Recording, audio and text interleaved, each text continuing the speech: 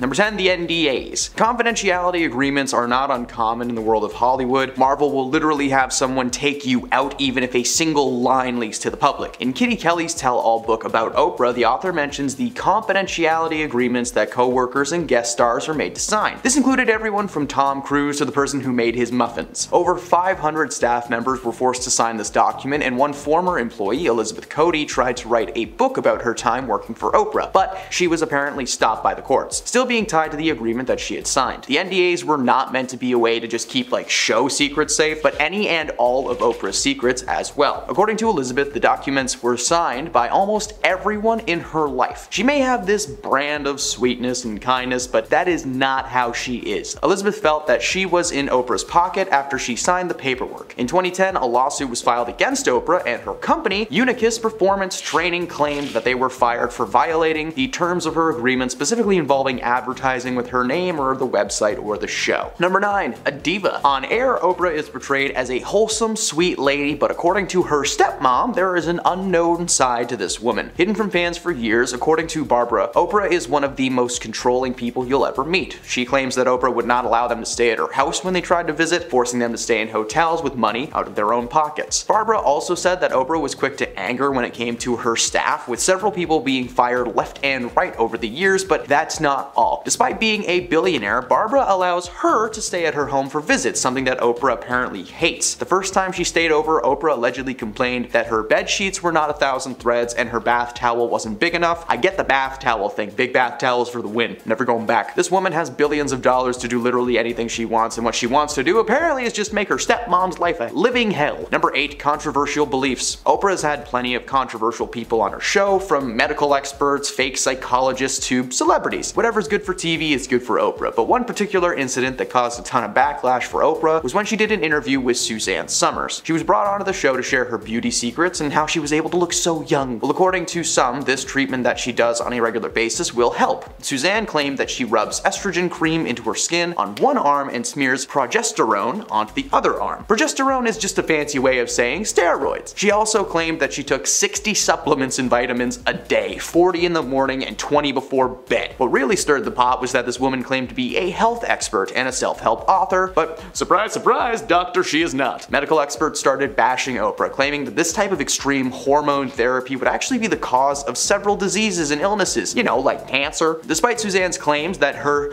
specially made non-FDA approved bioidenticals are natural and safe, they're actually just synthetic conventional hormones that you can buy at a pharmacy. Oprah did everything in her power to sell this idea to her audience, believing 100% that the methods were useful, even claiming to have used some of these methods that made her feel incredible. So this lady would rather risk her audience getting cancer than just telling them the truth. That is Solid. Number 7. An advocate for Maui. Oprah was claiming to be many things during the whole Maui backlash thing. A good boss, a charitable woman, and an advocate for the island of Maui. By starting her Maui fund and donating her spare millions, she made her mark in the public as a woman who she cares so much that she's asking you to give her money as well. Isn't that nice? As I've mentioned in previous videos, Oprah would not care about Maui or its people if she didn't have a vested stake on the island. Oprah's had property in Maui for quite some time, being almost a second home to her, and when the fire started raging, she started funding. But think about all the other things that have happened in the past couple of years around the world. We all forgot about Australia on fire in 2020. Western Canada was on fire at the beginning of this year. Some parts of Florida have been underwater for months, yet Oprah has decided to dedicate her time and money to helping an area where she has a vacation home. Number 6. The free cars. Now, who could forget Oprah's famous words, you get a car, you get a car, everybody gets a car. The moment was historical on her series and was parodied time and time again, and it still does get parodied to this day. However, what a lot of people don't know is that it wasn't as simple as here are some keys,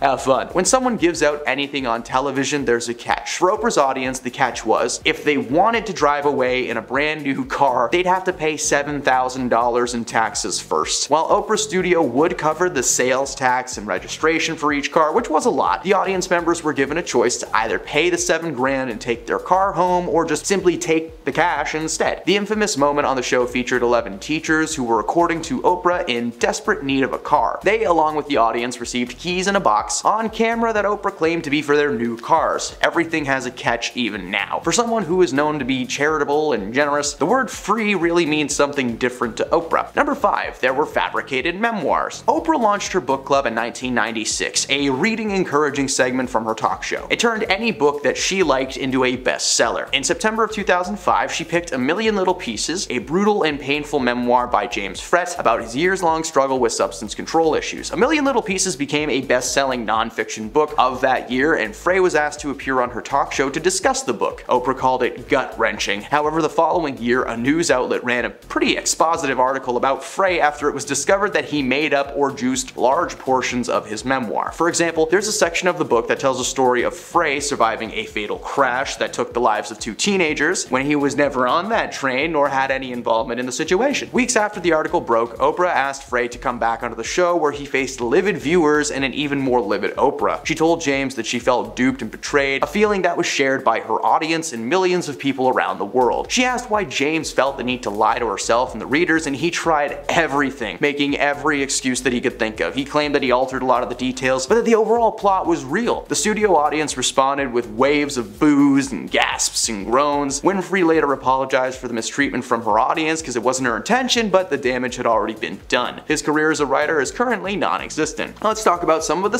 celebrities that she has had interactions with. Number 4. Cindy Crawford. Model and actress Cindy Crawford has called Oprah out over their 1986 interview that took place on her show, where Oprah asked the then 20-year-old to expose herself to the crowd. Crawford reflected on the interview in a new documentary called The Supermodels on Apple TV+. Plus. Everyone has a plus now. The documentary spotlights the careers of several models like Naomi Campbell, Linda Evangelista, and of course Cindy Crawford. In a clip from the documentary, Winfrey is heard introducing the then aspiring supermodel to the Oprah Winfrey Show before she is asked, did she always have this body? I mean, this is unbelievable. Come on, stand up. Now that's what I call a body. Thank you, that is my impression of Oprah. She is visibly uncomfortable and sheepishly stands up before the studio audience cheered as she showed off her figure. According to Cindy, she felt like a child in that moment being told what to do by her superior. She felt that the moment was more of a show us why you're worthy of being here type situation than anything else. At the time, this was just some weird thing that Oprah asked her to do, but it morphed and mutated into one of the most uncomfortable moments in her early years in modeling. The most shocking thing for her was the fact that it was Oprah Winfrey trying to tell her what to do. The woman who was known for her kindness and generosity made her feel like a puppet. Number 3. Where's the beef? In spring of 1996, the United Kingdom apparently experienced an outbreak of bovine spongiform encephalopathy, or mad cow disease, since I probably butchered that last part. According to the FDA, the disease destroys cows' central nervous system, and if humans eat it, then we get zombies! No, but they uh, can contract a deadly variant called Creutzfeldt-Jakob disease. During the mad cow scare, the Oprah Winfrey Show booked Howard Lyman, the former cattle rancher, had adopted a vegetarian lifestyle, and he went to work for the Humane Society's Eating with Conscience Animal Welfare campaign, and he appeared on the show to discuss the threat of mad cow to Americans. He pointed out that feeding the remains of mad cow to infected cattle or any other animals could have facilitated a spread, and such practices were apparently common in the United States. Oprah was stunned and vowed that she would never eat a burger again. And it turns out her influence and her millions of viewers were so large that only a few hours after that statement and the episode aired, she declared to never eat a hamburger ever again and the price of beef stock plummeted, staying at an all-time low for two months. One Texas rancher actually lost an estimated $6.7 million that year and organized a class action lawsuit against Oprah and her show for talking trash about American beef. After about six weeks of a trial, she won, leaving one man with no farm and out thousands of extra dollars in legal fees. Number 2. Tom Cruise. Despite this man being in the Mission Impossible franchise, he's been in a lot of movies produced by himself. You didn't think Hollywood forgot about Oprah, did you? Following the announcement that he was engaged to Katie Holmes in the early 2000s, Tom appeared on an episode of The Oprah Winfrey Show, and it has gone down as one of the most iconic TV moments of all time. From the moment he steps on stage, things are just going wrong. He throws arms in the air, he rubs Oprah's shoulder like she's got a stain that just won't come out. Tom jumped on her couch, grabbed her hands over and over. She couldn't even get any questions out. Eventually, Oprah was like, okay, I'm done, bring Katie out. And then Tom is just running through the hallways as cameras follow him Blair Witch style. The moment cemented Tom as a man with many hidden personalities, and while it has not affected his work as an actor per se, ever since that day, whenever he's brought in for press of any kind or interviews, all entrances and exits must be locked at all times for everyone's safety. Again, this man may be in movies still, but they're rarely anything new or good. Number 1. Whoopi Goldberg An author Kitty Kelley's unauthorized Oprah biography, Kelley claims that Whoopi Goldberg became a persona non grata, or an unwelcome person, to Oprah after Whoopi was nominated for an Oscar for her role in the original version of The Color Purple. The book noted that following the honor, the comedian never appeared on Oprah's show again and was noticeably shunned from her 2006 Legends Ball. It wasn't until Oprah invited the entire cast of The Color Purple onto the show that the so-called feud was addressed. It turns out Oprah actually ran into Whoopi at Tyler Perry's party sometime around 2006, just after the snub. Goldberg confronted Oprah, leading to a hilariously adorable moment between them. She asked if she was mad at her, to which Oprah said, I thought you were mad at me. Well, that's crazy. They mutually agreed that they really should have just picked up the phone a long time ago and settled the dispute. Number 10. Tom Cruise's cookie dough. Tom Cruise is known to have a bit of a bad temper. According to Leah Remini, Tom once lashed out at his assistants after he couldn't find a tube of cookie dough when Leah and her husband Angelo were over for a visit.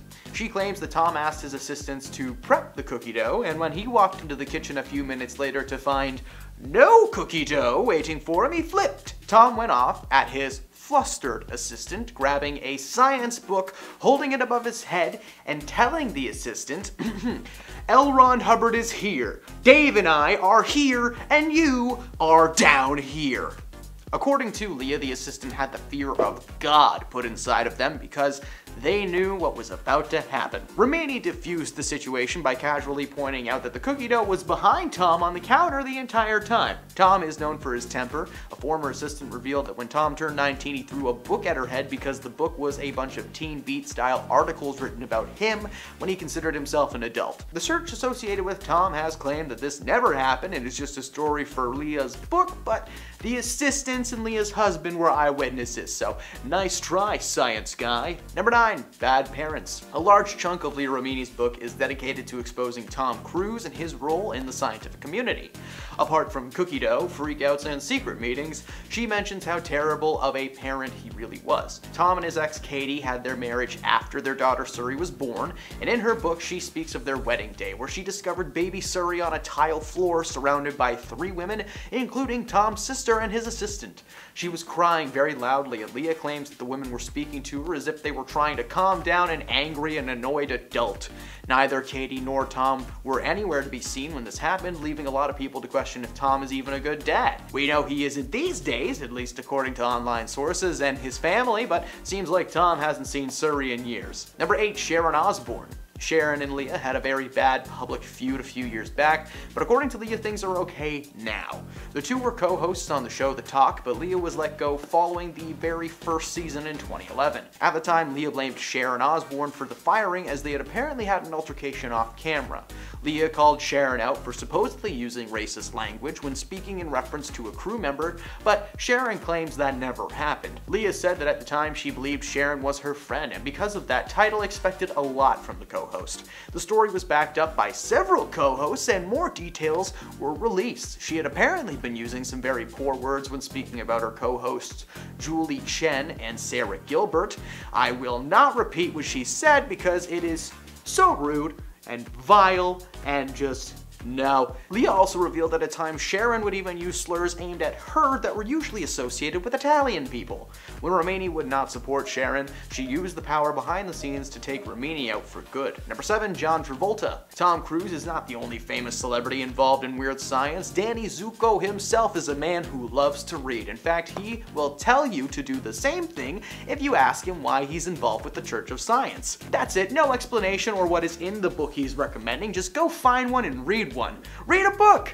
I picked Harry Potter. John is well known to have confirmed his involvement with the crew, but there is specifically one really unsettling thing about him, and is that mm, he seems like an okay guy, but as I said, every time someone asks him about what it means, he tells people to educate themselves and read a book. I found so many examples of celebrities all giving the exact same answer when they're asked this question, and it's horrifying. There is no straight answer, it's very weird, they tell you to go to a library, that's pretty sus. Number 6. Jada Pinkett Smith. For those who don't know, Jada lives in a world of science, but she I can't even talk about what that means. Oh wait, you'll know what it means.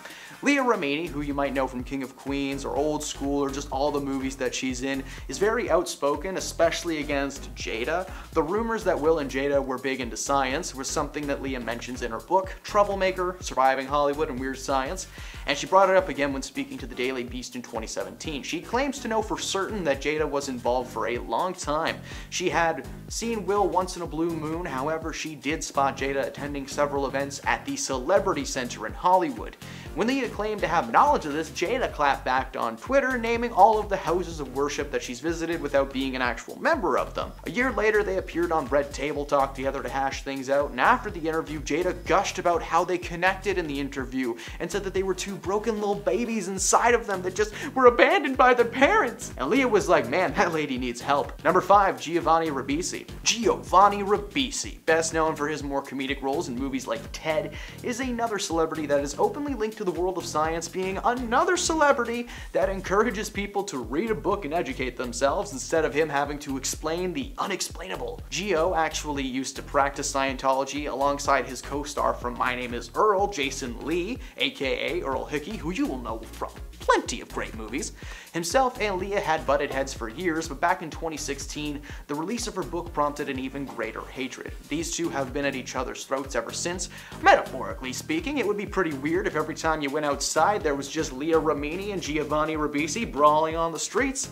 You can sell tickets to that. Geo is not the most famous person in this book to be exposed, but he is mentioned, so he counts. Number 4. Maggie Gyllenhaal. Maggie and Leah used to be very close when Leah was a former member of the Weird Science, but she has had a massive falling out with the group ever since. The controversy led to several altercations and rifts in friendships. Following her exit from the church, Maggie and Leah continued to argue and battle with each other as to what the superior decision was. The better place to be for Leah was behind a desk typing her feelings into a book. I've never read this book, so if you have, good for you. I barely had enough mental capacity to read the articles about this lady, let alone her actual words and thoughts. Maggie is just another celebrity that wishes Leah would stop telling so-called lies and misleading the public into thinking that the group are a bunch of famous nuts who play hide and seek together from time to time. Uh, guys, Leah didn't make you look like that.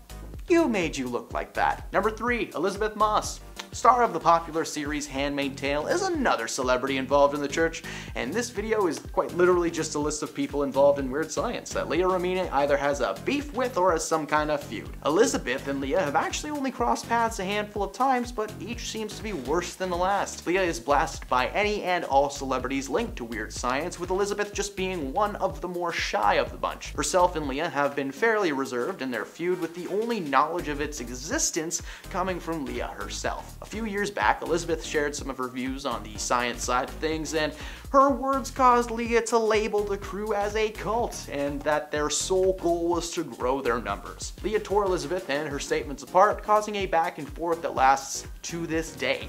The argument is literally just the two going back and forth claiming that the other is the reason for their annoyance.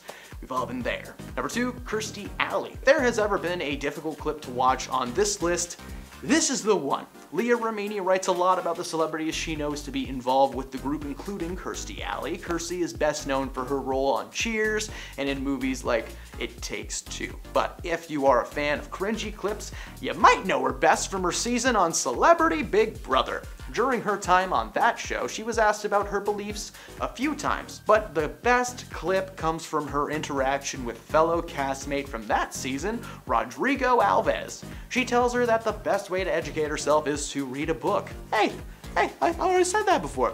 But unlike TV hosts and interviewers in the past, she pushed further, telling Kirstie that she is right there, ready to go, so you could just explain what would be in the book, right? To which Kirstie said no. Rodrigo had her own set of issues on that season, but this moment really stuck into the minds of those who witnessed it. Like, why not? Why do I have to go read a whole book that you have already read? That'd be like going to a doctor's office and them being like, oh, I know what's wrong with you, but you have to read my medical school journals to figure it out. And at number one, Dancing with the Stars. A few years back, Leah was asked to be a guest dancer on Dancing with the Stars, and as the season progressed, more and more backlash came up, mainly from the science community voicing their annoyance that she was fine to be on a show and dance her heart out, but Other active and vocal members like Tom Cruise and John Travolta or anyone else who was on this list are questioned at every turn. Leah responded to the hate by informing people that the show that she was on had nothing to do with her views and was simply something fun that she wanted to participate in and she was asked to do it. So this might have been part of the reason that she left the group for good, and every time she tried to exist outside of it, she was just questioned and brought right back in. The Smith family has been in major gossip sources almost every month for the past three years. It seems as though they may never catch a break, but more importantly, it seems like we, the gossip people, will never run out of content and anecdotes. Jumping right in, we have their separation. Jada recently revealed that the pair, who everyone assumed was still unhappily married, have actually been separated for years, and everything that has happened between the two since 2016 has all occurred when they were not in an official relationship, and wow, a lot has happened. The separation was revealed alongside a myriad of other strange confessions and was followed by some even crazier revelations, which we will get into. The two say that they have always loved each other very deeply and that they always will, even going so far as to say that they are not planning to divorce, but they wanted to officially separate and provide each other space, which brings us to our next point. Up next is the revelation that Jada and Will were in an open marriage. I mean, this comes as no surprise to anyone, right? Like, come on. Now, a couple years back, this was all anyone was talking about. How Will Smith and Jada were in an open relationship, but only Jada was partaking openly, and by that I mean in the public eye. The man that Jada had begun a relationship with actually moved into the house with the happy husband and wife. This arrangement definitely created an even more tense environment for the group of them, and I can't imagine having to live with that. I mean, my parents split up earlier this year, and living with them even for one month while things got packed up was a pretty awkward and tense experience. Thinking of one of them inviting their partner to come live with us? Yeah, I'd press pause on that one. Some secrets should not come out, like Jada's hesitation to marry and the emotional reaction that she had on her wedding day. Jada and Will got married when they were very young, and it was actually Jada's mother who pressured her into the marriage because she really liked Will and saw a lot of potential in him. However, that decision aged poorly, obviously. For Will's birthday, she posted a fairly old photo of them with their two kids and one of Jada's sons from her previous relationship. Many fans sent birthday wishes, but there were a few, a good amount, who made snarky remarks and rehashed lines from Red Table Talks, contradicting the photo in the post. Some people commented on how she didn't love him romantically, and a clip came up of her saying how she cried all the way down the aisle because she did not want to be married to him, and how she felt pressured to be wed even though she never wanted to get married. Next up, we have the bonus son. Well, many know of the existence of Jaden and Willow Smith, not a lot know about the existence of the third son. Trey Smith was the product of Will's previous marriage to Sheree Zampino and tends to fly under the radar in the eye of the media. In 2018, Jada brought Zampino on her show and spilled the tea on the real story behind Trey, their relationship to each other and Will's role as his biological father. For many Smith fans, this is the first time anyone had even heard about Trey. Will claims that he had to distance himself from Trey and his mother following the divorce. Will recounts struggling to maintain a healthy enough relationship with Zampino for him to play the role of Trey's father figure. Trey was raised by his mom alone, growing up feeling betrayed and abandoned by Will. Eventually, Will made amends and became a proper part of Trey's life, but for a long time, Trey was kept hidden from the public, surely leaving a stain on the family unit that can never be washed away. Next up, Complex Grandpa. This one is really dark. Like, okay, kind of in a funny way, because it's not actually dark. I guess. Like the dark thing didn't happen, but no, it's pretty, it's pretty, it's pretty dark. Will Smith released a memoir called Will in 2021 that was chock full of info that you would have to waterboard out of me or pay me a huge sum of money. Okay, yeah, I, I, I get it, Will. Proceed. The actor explains that while he was growing up, his father physically harmed himself and his mom on continuous and frequent occasions. So, in return for this treatment, he vowed to seek revenge for his mother when he was older and capable of more.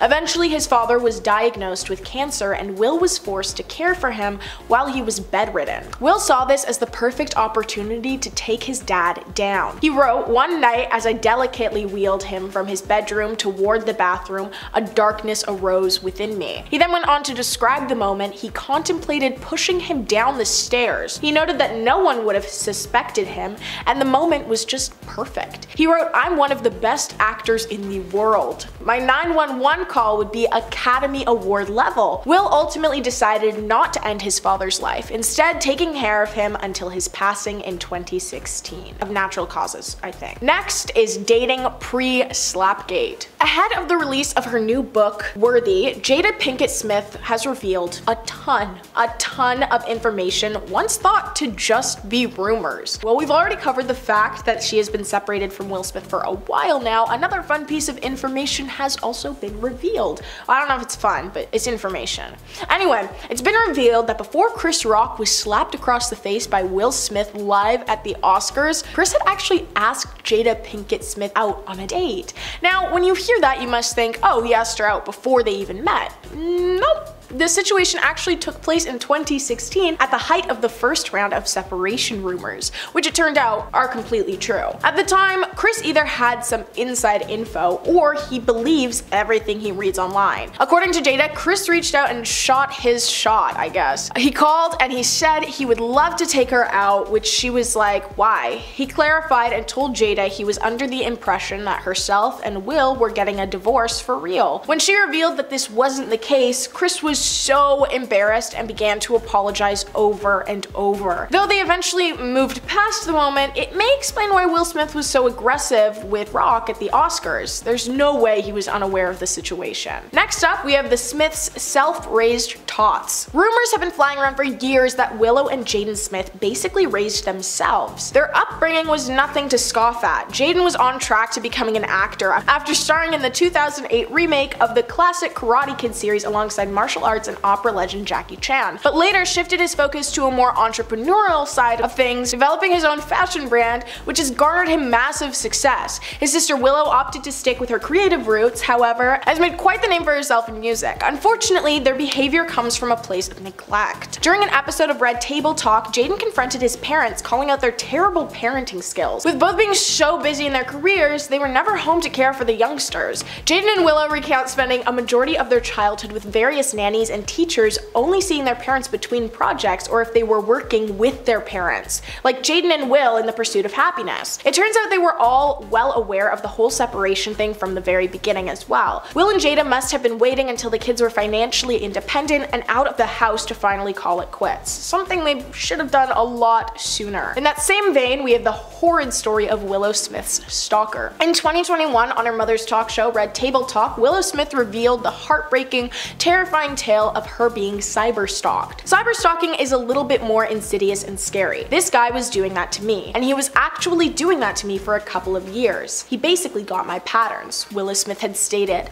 In December 2020, while on a vacation and absent from her house, the stalker broke into her home. Her mother, Jada Pinkett Smith, located a camp that was set up behind the house, created by the stalker. His intention was to wait for Willow to return home. Jada immediately called the police and the authorities recommended throwing out the contents of the fridge and cabinets in case the stalker had placed something harmful in the food. Willow Smith decided to take the stalker to court, filing for a restraining order against him. It was discovered that the man had been stalking her online for years. The restraining order was granted, but Willow Smith still has severe trauma from the whole experience. Next up, we have the birthday brawl, literally. For Jada's 37th birthday, Will decided it would be a great idea to throw a massive surprise party. Now, it wasn't just their celebrity friends, some close family, and what have you.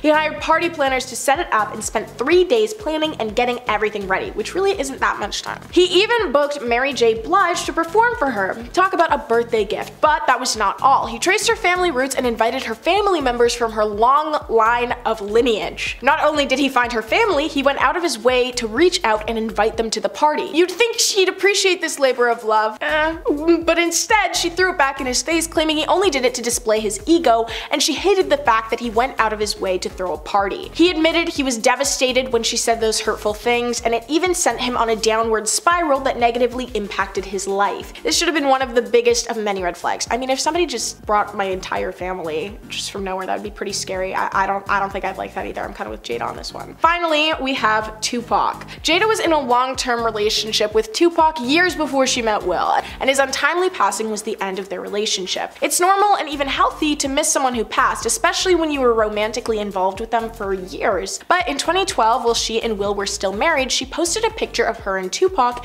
in a very intimate embrace, and she captioned the photo, I miss him. It makes sense wanting to share your deep feelings with the world, especially when they're affecting you the most, but that was a questionable photo to choose to post, especially when you're married to someone else. Not to mention Will and Jada's daughter Willow wrote a letter addressed to Tupac after he passed because Willow claimed she knew he was still alive. One of the lines in the letter read, can you please come back so mommy and me can be happy. I think my mommy really misses you. It seems sweet and rather innocent, but at a young age she was aware of how much he still had a hold on Jada, and she wanted him to come back into their lives, which at that point seemed like it could have been the end of Will and Jada's marriage. Nothing came of it, obviously, but it makes you question how much Willow actually knew about the situation. Number 10, Cry Me a River. Cry Me a River by Justin Timberlake is a very catchy song. It's pretty mean and clearly about Britney, but still very catchy.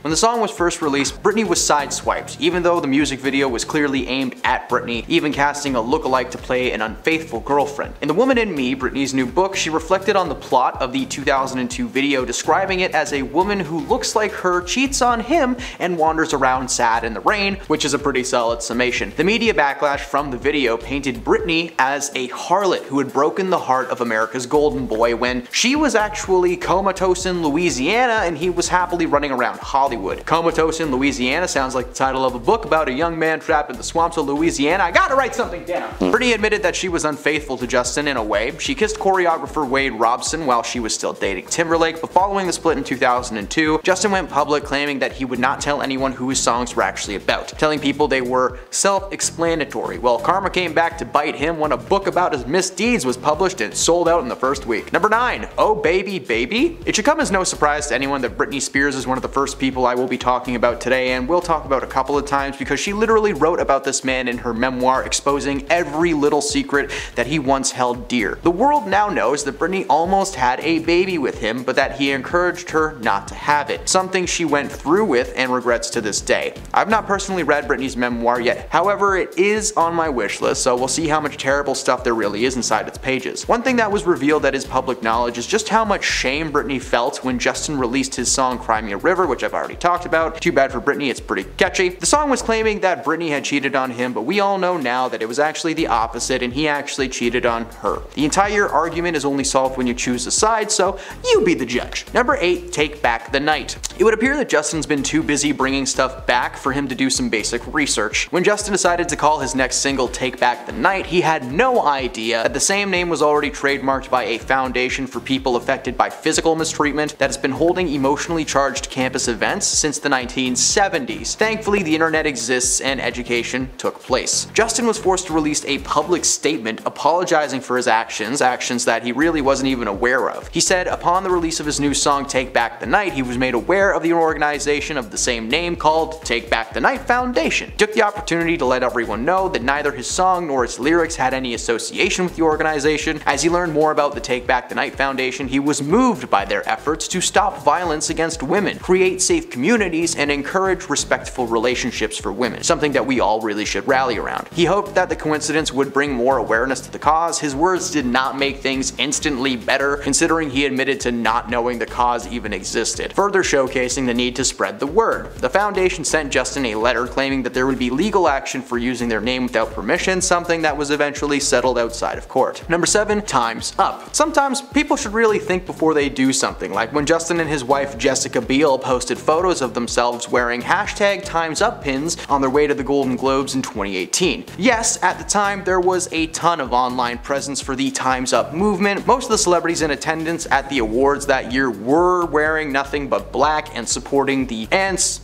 and the reason people were upset with how Justin did it was because he had just started a project with Woody Allen. For those who may have forgotten, the Time's Up movement was an initiative by women in Hollywood calling for a change in the treatment of women across all industries. Woody Allen is a controversial man because of the 1992 investigation into the concerns that he had physically mistreated his daughter, Dylan Farrow. Woody was never formally charged, but the accusations followed him everywhere he went. This led many people online to call Justin out for the hypocrisy of wearing a pin while working with Woody. Justin was blissfully unaware of the controversy, but he apologized for it anyway. Number 6. Vegas! When Justin sat down for an interview with Beats Radio 1, he talked about his new album, Man of the Woods, family life, and his career path. When he was asked about the possibility of taking up residency in Vegas though, he responded by saying it was something to consider if he ever wanted to retire. He continued saying that it would feel like planning a retirement. For some reason, that was a scary thing for him to think about. A lot of performers have purchased property in Las Vegas, not as a retirement spot, but just as like a home base whenever they're performing for extended periods of times. The comments were considered to be pretty rude, especially to anyone that is not a celebrity living in Las Vegas. And according to Justin, everyone in town is in their retirement stage and therefore are old. He's received a fair share of backlash for the comments, but has yet to actually purchase any property in the town or apologize for them. Number 5 the bet. Betting your friend to do something stupid is pretty fun, okay? It's pretty awesome, but betting your friend to do something to another person can be a little bit gross. Of course, in this case, the bet was made when Justin and his childhood friend Ryan Gosling were only 12 years old. The bet was to see who could kiss a certain lady first, and that lady was Jessica Simpson. As luck would have it, Jessica and Justin crossed paths a few times over the years and eventually sparked a romantic connection in 2006, following Simpson's split from Nick Lachey. During their brief romance, he recalls a time when she spotted Justin texting someone moments after they had locked lips. To her, maybe she did a bad job or he was messaging another girl, something weird, but it turned out that he was just texting Ryan Gosling, Ken himself, to let him know that he had indeed lost a bet. She then admitted that she had a little bit of a crush on Ryan growing up and that Justin was lucky to have gotten there first. They of course broke up, but Jessica has very little to say in negative reference to Justin, so let's move on. Number 4. The Social Network. Having just seen the film The Social Network this past week for like the 10th time, I understand where the star of the film Jesse Eisenberg is coming from. In The Social Network, Justin plays Sean Parker, who's a real person who famously invented Napster and was then arrested and charged for a number of misdeeds only briefly covered in the movie. In the years that follow, Jesse Eisenberg has been fairly closed off about his time on set, and why wouldn't he be? Jesse Eisenberg, there are probably a million DC fans out there who are ready to just cave his face in at a moment's notice. However, when he is pressed about his time working on the social network, there is one constant that Justin Timberlake did a great job. Now, when someone does an incredible job on set, that's usually a good thing, but not when the person they're playing is known to be a playboy with a penchant for the underage. While there is of course nothing tying Justin personally to that Sean Parker character, I do have to say, just after watching him in the role and everything that's going down in the past couple months, it's just a little bit scary how many times I forgot I was watching a movie. Number 3. Wifey. Justin's current wife is no stranger to her husband being a pain in the neck. One night a few years back, Justin was spotted holding hands with his Palmer co-star, Alisha Wainwright, while he was still very much married to Jessica Biel. Of course, the internet being what it is, saw that this man was holding another woman's hand and they were like, oh, they must be a couple, he's definitely cheating on his wife. I'm sorry, but that is very silly, and if you saw that picture and assumed that, you are also silly. Justin was forced to release a public statement clarifying that he had in fact not done anything bad with his co-star at all, he had a bit too much no-no juice and wasn't paying attention to how he was behaving. He claims to have grown close to his co-star, but in more of a brother-sister kind of way. Jessica forgave him, but he continued to showcase a pattern of careless actions, and he has used offensive accents and language during interviews and even while on stage performing his music. Because Justin associates himself with rap a lot, he seems to think he's good to use slang and speak with an accent that just doesn't sound right coming out of his face. Jessica and Justin posted photos together for the hashtag Times Up movement, and for those of you who might have forgotten, I did just mention it, so you shouldn't forgot. You shouldn't have forgot that. So just saying, bad move, J-Dog. Number two, cut it out. Musician SZA had to deal with Justin in a very public way on the now cancelled Ellen DeGeneres show. SZA and Justin were brought onto the show to discuss a collaboration, but it seemed like whenever Ellen was trying to ask a question, Justin felt that it was necessary to give the answer. On top of that, he continuously calls her sis and speaks with what many people agree are stereotypical catchphrases and mannerisms usually linked to people of color. So many people took to Twitter following the interview to ask why he was talking like this and why he was talking over her so much. What is with the voice? And if this man calls her sis one more time, people did not know what they were going to do. He was accused of cultural appropriation, only speaking this way when SZA was there, but as a lot of people know, he doesn't tend to speak with any specific mannerisms. The interview was uncomfortable and it clearly started some tension between these two. And at number 1, the court jester. In doing research for this video, I found over like 20 examples of Justin Timberlake making a fool of himself in public. He pretended to be Prince at a Golden Globes one year and crouched down down to 5 foot 2 and did a busted impression of him, not a good move. He has a penchant for impressions though, as he also did this to Rihanna's mother as he accepted his American Music Award for Best Male Soul R&B Singer. He doesn't research the names of other things before he uses them, like the Take Back the Night situation and the anti-mistreatment organization thing. He literally paid someone to pretend to be Britney and crash a car on camera for his music video to What Goes Around Comes Around. I could go on all day about why this guy isn't great, but I will save that for another video. Number 10, Jennifer Aniston nearly quit. Jennifer was the last to sign for the final 10th season of Friends, and she very nearly didn't return at all. Part of this was down to her busy career because at this point, she was definitely one of the most famous of the Friends cast. She had several movies on the slate. She later revealed that she was debating not coming back because she had a couple of issues that she was dealing with at the time. Jennifer said that she wanted to end the show when people still loved them and they were on a high. She also questioned herself about how long she really wanted to play Rachel. Jennifer obviously eventually agreed to the final season, but she is the reason why it's the shortest season, because she only agreed to return if it was cut short. Luckily for everyone, she decided to stay and felt bittersweet about the final season, and in the end she found herself wishing that it could have continued on.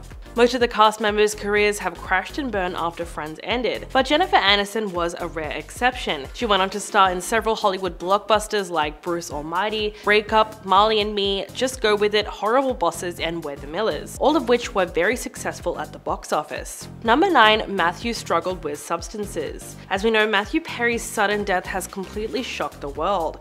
The beloved actor was found at his home after an apparent drowning. He was only 54 years old, and his passing was an absolute tragedy. Many of the Friends cast struggled to deal with their newfound fame, and for Matthew, this led to problems with addiction, which he has been extremely open about in his memoir. Although he said that he was never drunk on set, he did admit to being painfully hungover to the point that everyone became aware of. After more than one stint in rehab, he managed to get clean, and then he became very passionate about helping other people who were struggling. Just last year, he revealed that he and Jennifer Aniston had stayed in each other's lives, and they remained in close contact.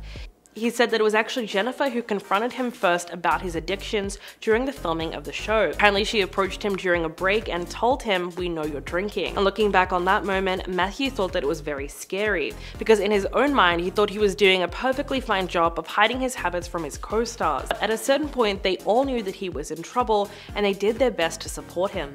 Number 8. Lisa Kudrow sued the show. Lisa Kudrow's manager Scott Howard sued her in 2008, year after she ended her contract with him, and four years after Friends ended. Howard claimed that Lisa owed him residuals for the reruns of Friends and other projects that she had worked on while under his management, to the tune of 10% of everything that she got. He stopped paying him when the contract was dissolved and argued that the 10% was only payable when he was managing her. Eventually, he won the case in 2014 and the judge awarded him $1.6 million. Of course, for someone who earned $1 million per episode for the final seasons of Friends, that figure wouldn't have put too much of a dent in her bank account. In a statement, Elisa's attorney said, The jury's verdict is merely one step in the legal process.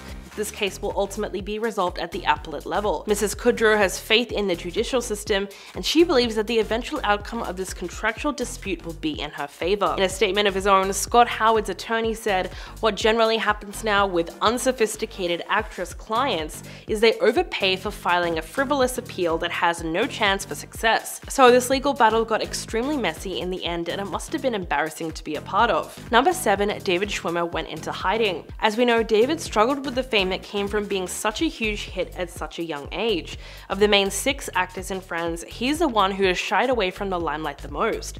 Although he continued to work after the show ended, he spent many years preferring to do voice work, directing, producing, and has been candid about struggling to find a way to continue acting as he's such a huge celebrity. Said, it was pretty jarring and it messed with my relationships with other people in a way that took years. I need to kind of adjust to and become comfortable. It made me want to hide under a baseball cap and not be seen. So I was trying to figure out how do I be an actor in this new world, in this new situation. Friends was such a huge hit from the moment it premiered that it didn't just bring fame to its stars, it brought a mega level of fame that is hard to understand. For David, it was just too hard to deal with. So much so that it didn't just affect him, but his relationships and other people as well. He was also an actor who, as a part of his craft, liked to be anonymous and observe people out out in the world. But of course, he simply could not do that anymore once he reached that certain level of success. Number 6. Matt LeBlanc was arrested. Before he became famous, Matt was already getting used to that crazy party lifestyle that most people associate with being a celebrity. After Friends was finished, he admitted that he was arrested for drunk driving twice. He said, When I was young and stupid, I wasn't driving fast, just crooked. This came up when he was cast as one of the hosts of the new Top Gear, and fans were not sure whether a history of reckless driving was a good thing when it came to presenting a show about cars. Matt dismissed the incidents as a product of his age, although he has said that he's grateful the press never got a hold of his mugshots. While his drunk driving record happened before fame and fortune came to him, he also got into some pretty dark times when it came to dealing with his newfound fame. He nearly had a nervous breakdown due to the intensity of working on Friends, especially when the show came to an end. Speaking about that time, Matt said that for years and years he barely left the house because he was so burnt out. He wanted not to have a schedule and not to have to be anywhere. Luckily, he was in a position financially to be able to do that with all of his savings, but of course his agent was not too happy. Matt said that was a very dark time for him and it even led to a nervous breakdown. Number 5. Jennifer Aniston's wedding. While not every cast is close off screen, the cast of Friends was known for being friends in real life, as well as having a huddle before each episode started filming and negotiating their salaries as a team. The cast were often photographed out and about together,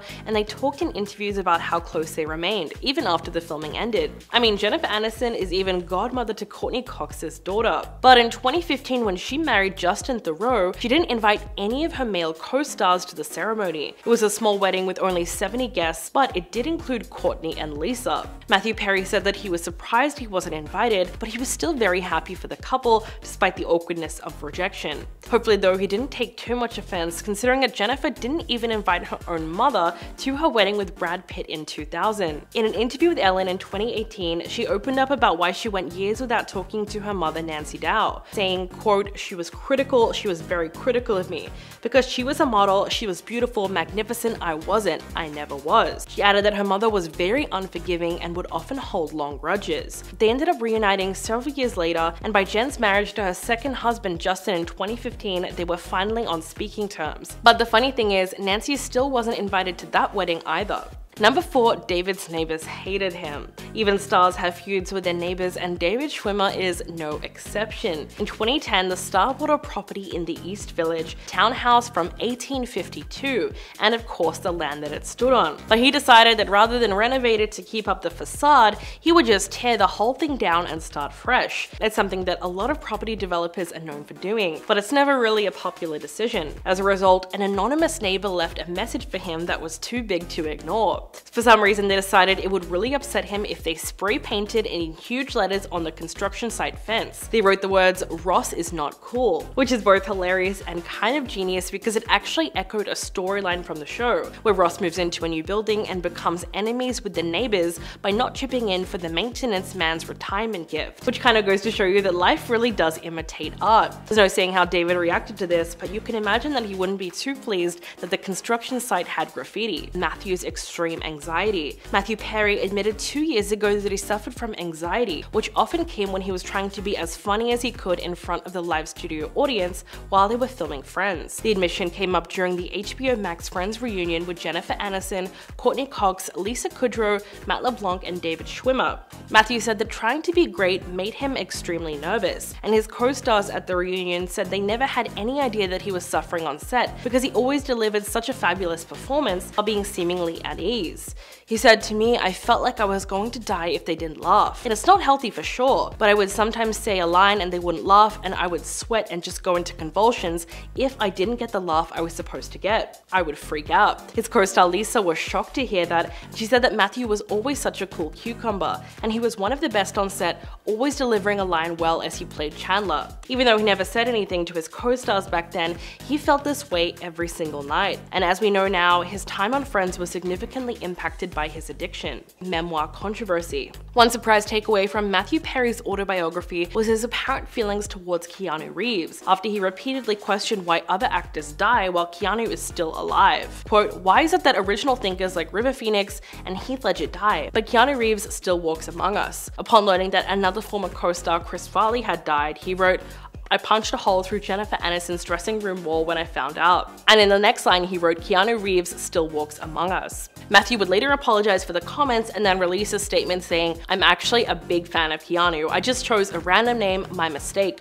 I apologize. But that wasn't it at all. There was also a lot of other interesting admissions in his memoir. Another thing he also revealed is that he asked out Jennifer Aniston before filming Friends. He said that the two of them were the only Friends stars who knew each other before the show, having met three years before through mutual acquaintances. In one part of the book he wrote, I was immediately taken by her, how could I not be, and liked her. I got the sense that she was intrigued too, and maybe it was going to be something. Safe to say that fans were more than shocked by that revelation. And number one, everyone was scared of Matt LeBlanc. Now Joey is far from a scary guy, but when Matt LeBlanc was first cast in the role, some of the other cast members were a little bit afraid of him. This fear was based off of what they knew about Matt himself. The fact that he was raised by a mechanic and had done a stint as a male model as well, and had done a stint and had done a stint as a male model, as well as what they knew about the character of Joey, who is known as a very forward womanizer. Jennifer Aniston in particular remembers being intimidated before she met him herself. She said, I was scared of that type of guy. He thinks it's very funny now, and actually he can sit down and comfort me just like Courteney or Lisa could. So it's a good thing that Matt turned out to be just as much of a sweetheart as Joey was, despite a slightly rocky start.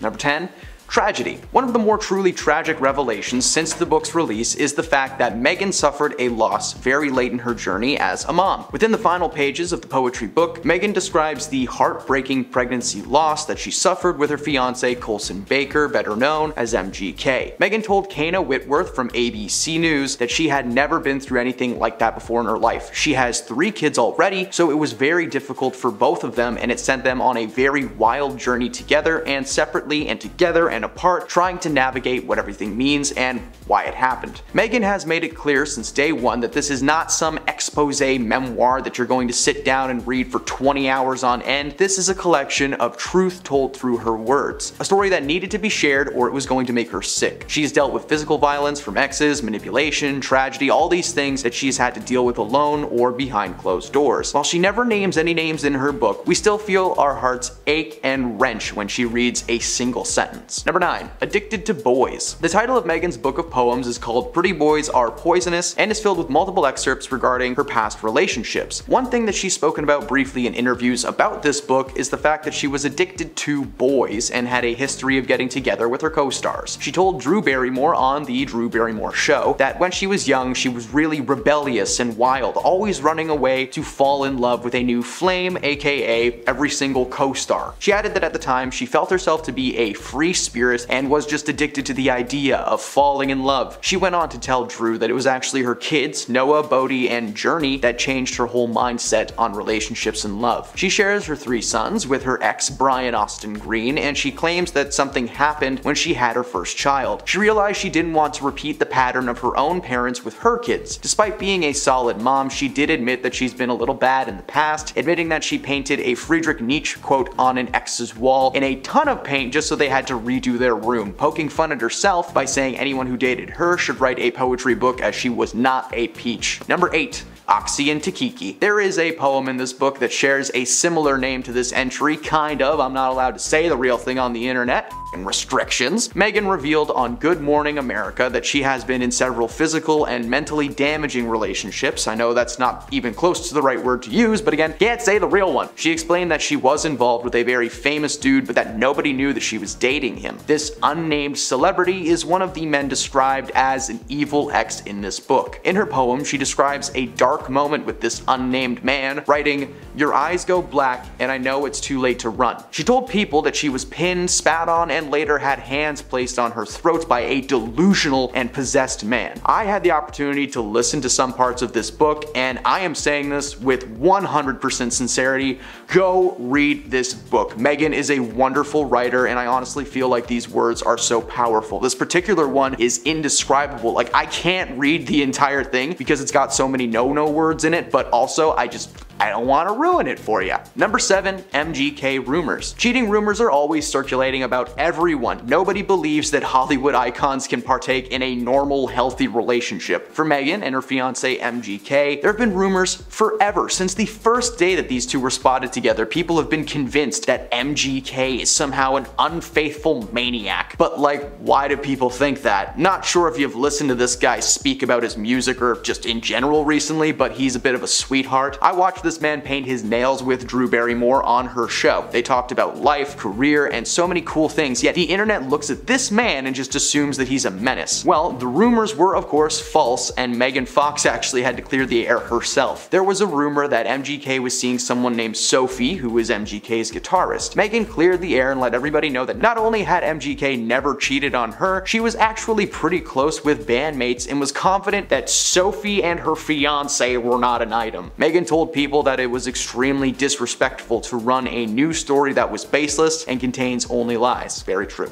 Number 6. 2009 Golden Globes. Now this isn't a revelation from a book, but it's something that she had to go through publicly and it does deserve to be mentioned. In 2009, comments started flying left and right after Megan Fox was spotted acting a little bit strange at that year's Golden Globes award ceremony. She explained that during the event she was placed at a table with Blake Lively and the Jonas Brothers. In the center of the table was a bottle of Moe Champagne. She went through multiple glasses of that very quickly. At the time, she was not much of a no-no juice indulger, but following her actions at the event, she decided to quit for good. She actually had herself a good old fashioned blackout at the event, but the parts that she does remember are not great. She went on the red carpet and said a lot of things that apparently got her in a ton of trouble. In a clip from 2009, Megan can be seen walking around telling people how nervous she was to be there and that she was on the verge of tossing up her cookies at any moment. She also made a ton of comments on her female co-stars, nothing bad. Just one quote I found in particular was her expressing how much she wanted to have Salma Hayek's chest. The evening was also a bit strange as people were wondering where her husband at the time, Brian Austin Green, was. She told people that he was a man with an ego and that he didn't want to be her date. Number 5 shoplifting. Megan's done a lot of things over the years, and one of those things, as it turns out, is shoplifting. Not while she was famous though, she did not pull a Winona Ryder, she actually stole a $7 bottle of lip gloss from the Mary-Kate and Ashley Olsen makeup collection when she was still in her teens. She revealed in a resurfaced interview that the Walmart employees actually caught her and called the police. She was made to go to a real courtroom and appear in front of a real judge who gave her two options. Either she had to wear a sign that says, I stole from Walmart and stand outside for three days, or she could wrap Christmas presents. Guess which one she picked. So, hey, uh, if you had Christmas presents wrapped at a Walmart in the US roughly 20 years ago, might have been Megan Fox. Hey, that's pretty cool. There is not a chance on this planet that that paper still exists, but hey, that'd be pretty valuable paper if it did. Number 4. Michael Bay Scandal. Megan has been featured in several films over the years, but it was an interview about her time working with Michael Bay that landed her in a lot of hot water. The original live-action Transformers movies came out in 2007 and co-starred Megan and Shia LaBeouf in the leading roles. Now, they were fun films on screen, but behind the scenes there was apparently a ton of tension on set. According to Megan, who had previously worked with Michael on Bad Boys 2, working for Michael was like working for Schmittler. Fun fact, if you had sh in front of someone's names, you can say it online.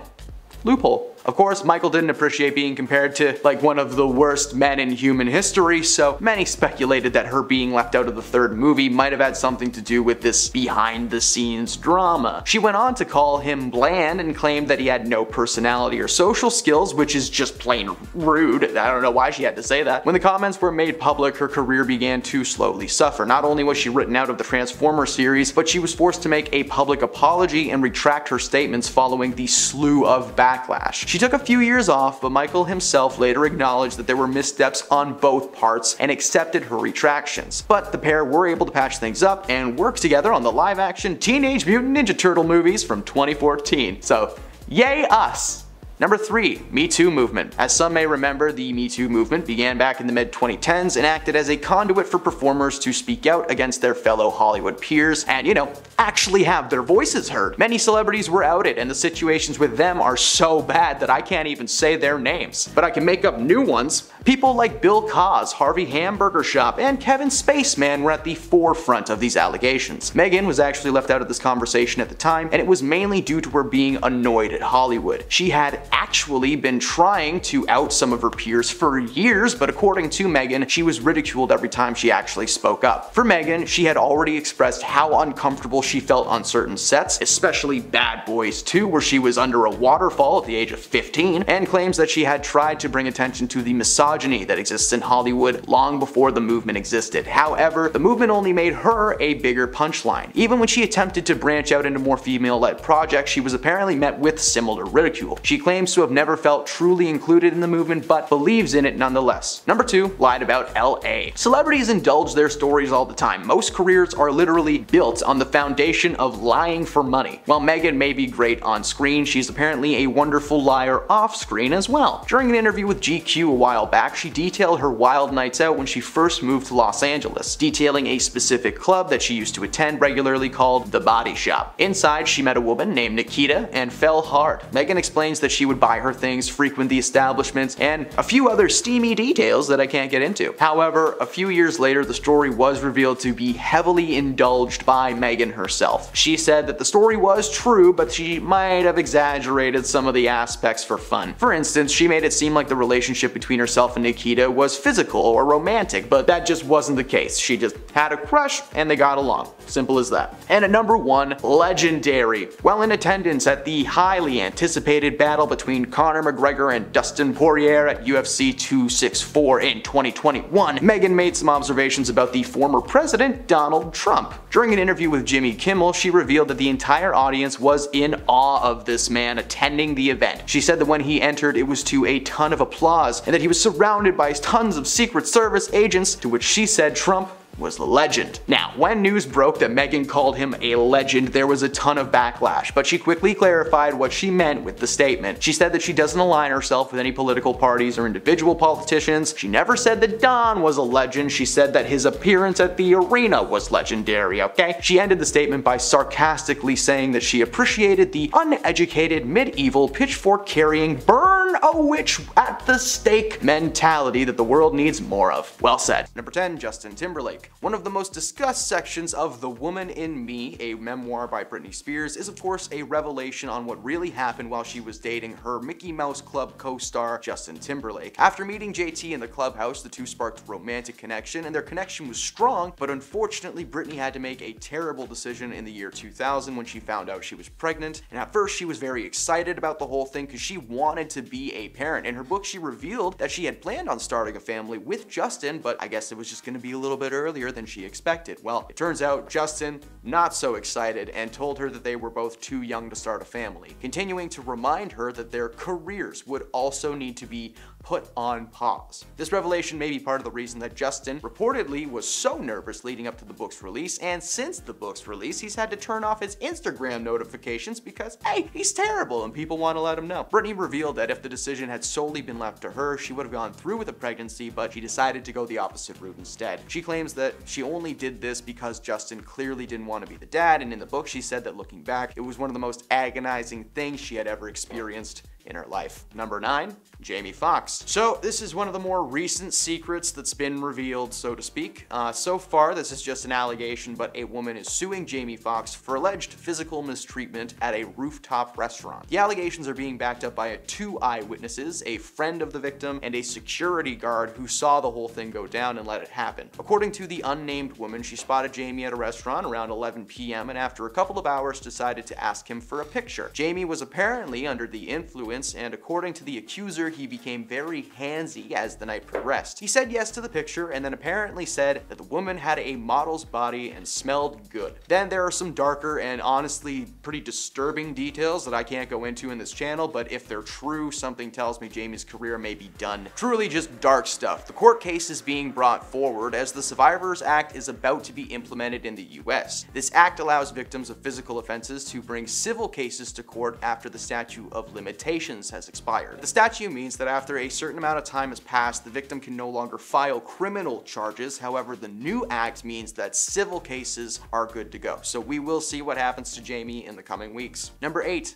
Lizzo. Lizzo may have been a public advocate for body positivity, but as part of the lawsuit being brought up against her, it looks like all that positivity may have just been an act that she was putting on to make herself more universally loved. Now, I'm not a small man. In fact, I have what many call a dad bod, and I'm very cool with it. So I'm not dismissing the notion that we should love and respect ourselves, but come on, she made it a massive part of her personality on camera when it sounds like the only body she actually cared about was her own. According to her dancers, Lizzo regularly shames her team and makes them feel that they are too large or gaining weight, with several dancers confirming these claims. One of the dancers, Crystal Davies, who is part of this lawsuit, was fired for secretly recording a meeting between herself and Lizzo. The meeting was about the dancer's performance on stage recently and her apparently disliking the weight that she had been gaining, claiming that she wasn't committing to the role. She was also bringing her dancers to weird places and making them do weird things. Lizzo was at a club in Amsterdam's red light district when she coerced, aka forced, a dancer to touch a woman's bare chest despite saying no several times. She also made them eat bananas from some no-no zones. Again, nobody's idea of fun. Currently, there is still a court case up in the air and no one knows what will happen, but so far Lizzo is maintaining that she did nothing and will prove her innocence. Number seven, Russell Brand. Even before the controversy surrounding Russell Brand came up this year, this dude was unwelcome everywhere. Royal events, awards shows, kids' birthday parties, who knows? For anyone who doesn't know, I'm really sorry to be the one to tell you, but Russell Brand is a terrible person. The man known best as a comedian, a bringer of joy, was secretly manipulative, aggressive, and at times violent with his ex-partners. Following in the news that a documentary about his life and career was set to release on BBC's Channel 4, several complaints got filed against him, alleging mistreatment during their time together. The allegations were actually reinforced by Russell's ex, Katy Perry, who they dated for quite some time, and she came to learn that Russell was short-tempered, opinionated, and stubborn. Russell's career was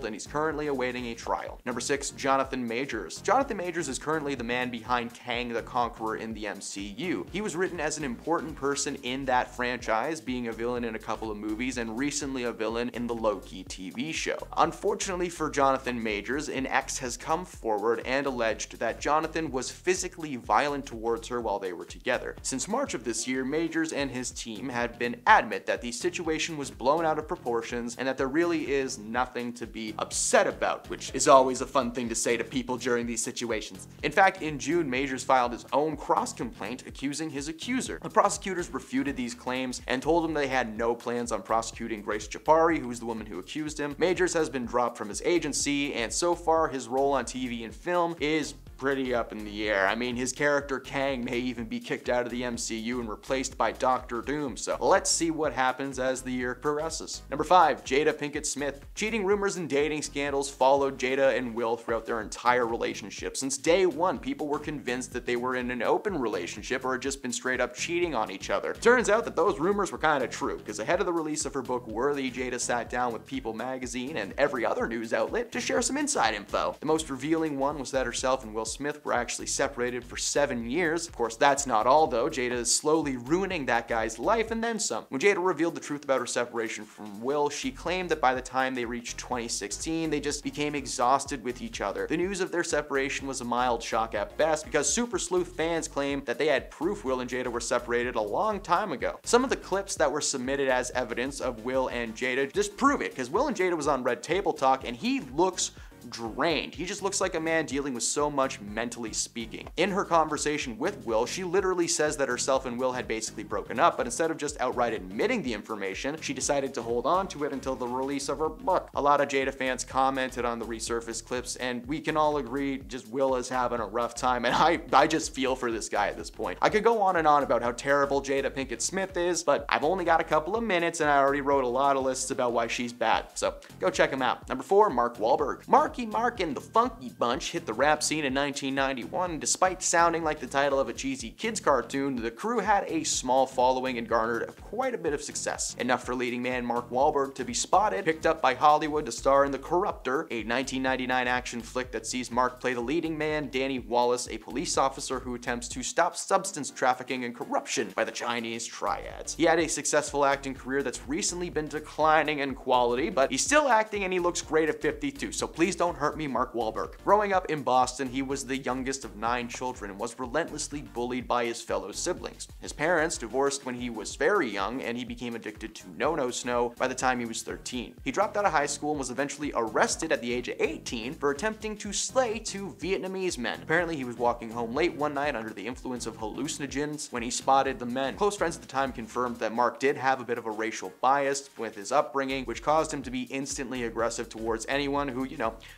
wasn't white. He attempted to swing a large log at them, which made contact and knocked one of them unconscious. He was eventually released after serving only 45 days of a two-year prison sentence, and he vowed to change his life forever. So far, that promise seems to be kept, and I can personally confirm that he's a very polite and patient person because he watched a movie at a theater I used to work at. He travels with like five people at all times. It's a little intimidating. Number three, Margot Robbie. Margot may be a perfect Barbie on screen, but apparently behind the scenes, she may be a psycho. In a recent interview with BBC Radio 1, Margot reminisced about a little prank she pulled on an old babysitter. It involved kitchen cutters, which is the word I'm forced to use for See, they bleep it out. Apparently, Margot has just gotten a new babysitter, a much older woman that just was not as cool as Talia, her old babysitter, so she hatched a plan of sweet, sweet revenge. After a particularly trying day where Margot refused to take a bath, she decided to kick the old lady out for good and grabbed ketchup, a stabby jabby device, and laid face down on the kitchen tiles. You know, the old I'm kinda dead routine. As you may expect, her babysitter walked in, took one look, screamed, and just jogged out the door. She was gone. She traumatized the woman who quit, and Margot successfully got her old babysitter back. But that's very messed up, and Margot was so young when she did that. That is so dark, a dark place for someone's mind to go that early on. Was she secretly a little crazy this whole time? Might explain why she is the best Harley Quinn we've ever seen on screen. Number 2. Tim Allen. Tim Allen is the voice of Buzz Lightyear, the star of ABC's popular sitcom Home Improvement, which premiered in 1991, and while he may have played a family man on TV, a lot of fans may not know that Tim was a smuggler of no-no snow in the early 1970s. According to Tim, he got mixed up with some pretty bad people back in the day while he was selling certain substances on the street for a couple of bucks. In 1978, Tim was arrested in the Kalamazoo Battle Creek International Airport and was caught with more than 650 grams 1.4 pounds of no-no snow. Unfortunately for Tim, state legislators had just passed a law that tied a life sentence to any conviction of selling 650 grams or more. Like there was a guy from the government just next to his car like, oh, 650, all right, well if you got 650, then you're going to jail. However, that sentence was never served and it was revealed that Tim was set up by an undercover police officer who had been following him for months. Due to this and Tim's cooperation in providing the names of fellow dealers to the authorities, it led to him receiving a lighter conviction that allowed him to be sentenced in a federal court instead of a state one, so he was able to ignore that new policy. His information led to 20 arrests and the sentencing of a major dealer. So think about this entire entry and tell me that wouldn't be a great movie. Number one, Danny Masterson. Danny Masterson was that 70s show's popular boy and it helped launch several careers, including Mila Kunis, Ashton Kutcher, and of course himself. Danny was also on this show, and it turns out the allegations against him date back to 2004 and were reported in 2004. Danny was still on the show when an investigation took place. Four women reported that he had mistreated them physically, prompting local law enforcement to halt production of that 70s show and bring Danny in for questioning. The investigation brought little to no actual evidence to the table because it was just that time, so Danny was let go and the whole thing was forgotten about. But that means that Ashton and Mila watched this dude shut down their project and still said, hey, he's a great guy. When the charges come up again 15 years later, people are still sticking to his side that he was friends with, but it turns out that he was an actual menace and a horror horrible person and he's gonna go to jail. Thankfully in 2023 it's a lot easier to confirm allegations like this and he was recently sentenced to three years in prison.